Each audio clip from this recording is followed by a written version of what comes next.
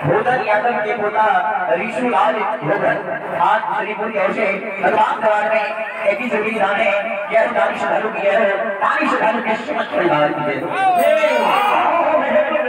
आइए हमें हमारी किताब को रहे हीरा बाबू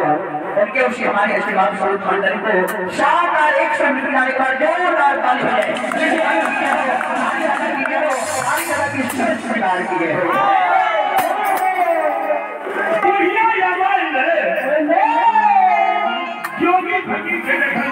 से देखिए